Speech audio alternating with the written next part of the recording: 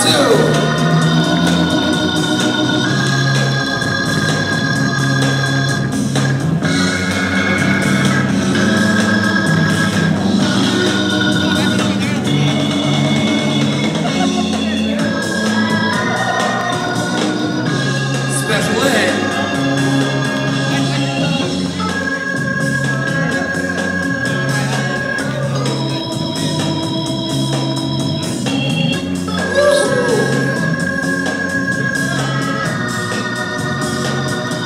I'm putting in work.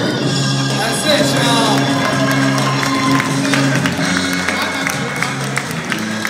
Damn. That's a tough one.